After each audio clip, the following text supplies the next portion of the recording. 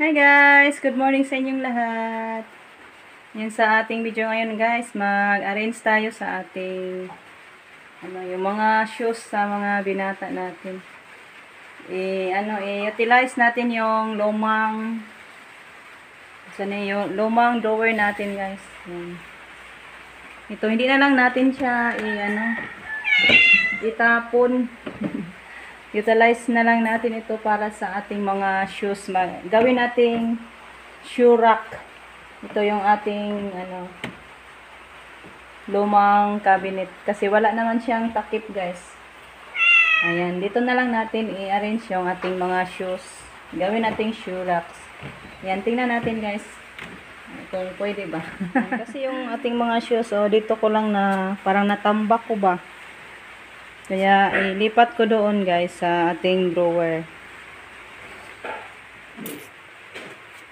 Wala na ito dito lang sa giliran ko po ito na ano na ilagay.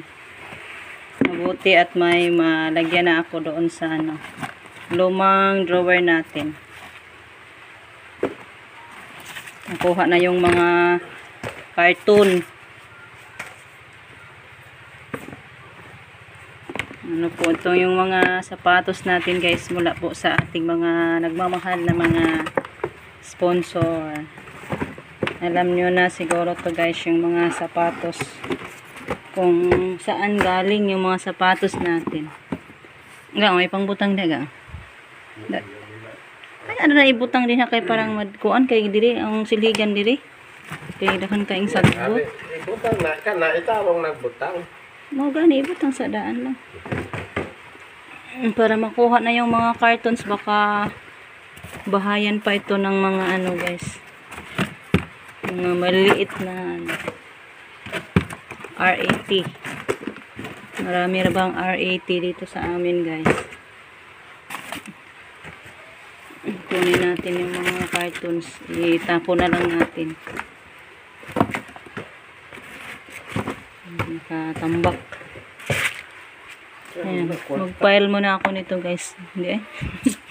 Puwerta ba daw to, sabi ni Rico. Ayan eh. Pahilo na ako to guys. Dito sa ating ano. Dito sa ating parador. Saka natin ano. Mm. Ayan. Para walang lamok na ano mag sipasok. Yan tapos na natin na ilagay yung mga shoes na display na. Yan mabuti at may nalagyan na tayo may shoe rack na tayo guys. Yan, maganda ng tingnan. Kasi na-intact na sa lumang cabinet natin ang problema natin kung saan natin ilagay yung shoe rack. Siguro dito na lang sa ilalim ng TV natin guys. Ilipat ko muna yung shoe rack. Hey guys, dito naman yung delivery natin. Thank you so much po sa sponsor natin. Ayan. More blessings na po sa ating guys. O, nahihitak ya? Dito tayo yung kasada kay paano.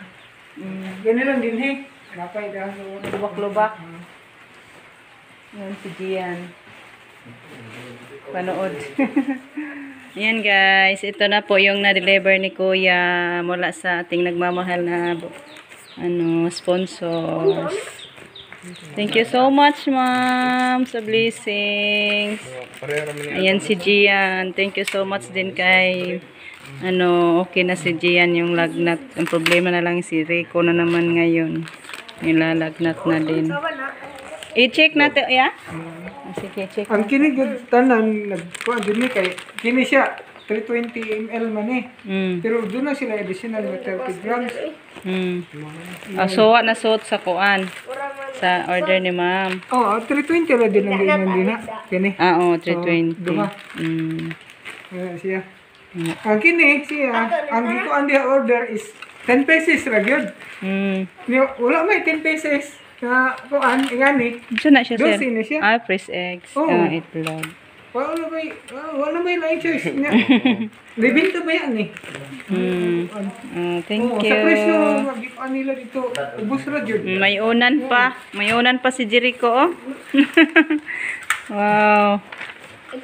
Thanks God sa mga blessings. Sana pag paramihan pa ni Lord yung blessings ni Ma'am. Yan na yung honey, Ma'am. Ito na yung honey na pinadala ni Ma'am. Pure honey pala. Ano mo gud ni? Wala siya sa pagkuan din eh. Kung gusto na nag-plastic. Ayan si Gian. Itlog na, anak.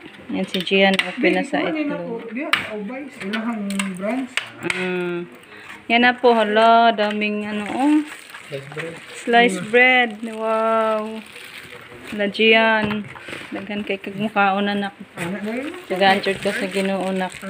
Tulog ng langit namin to si ma'am. Hindi na kami makabayad pa kay ma'am. Kahit ano pang ibabayad namin guys. Sa amin, ano, pray na lang ni ma'am na more more blessings pa sa kanya. Ang Sa hanin, Oh, Spanish sardines. Ah, sardinas. Ulain siya yan, no? Oh. Spanish sardines. Ang diri good, higid siya nga brand. Wa ang dyan ang brand diha sa kuan. Mm. Pero ang wala pareho ra nga. Pero ang lasa niya, maura po diya. Baso lang gisudlan niya, no? Di lata. Di lata. Mas nimba na kaysa lata. Mm, sa lata, no? Yan, thank you so much. Yan, nagpawan-uwan jud kaya. Na, nagkusog na pag-uwan. Ligo na lang yung abot ya. Unsay? Thank you so much. Tang to. Lord. May ano pa, guys. Paano to sa ko ah? Okay. Mm, sige. Sige, kuya. Yung order ni ma'am pala ay ang wala ay yung donuts. Okay, sabihan ko na lang si ma'am, kuya. Wow. So nice. Ah, thank you so much, Lord, sa blessings at sa taong binigay mo sa amin. Ayan. Ayan si Sir. Ga-picture. ah. Wow, dami ay.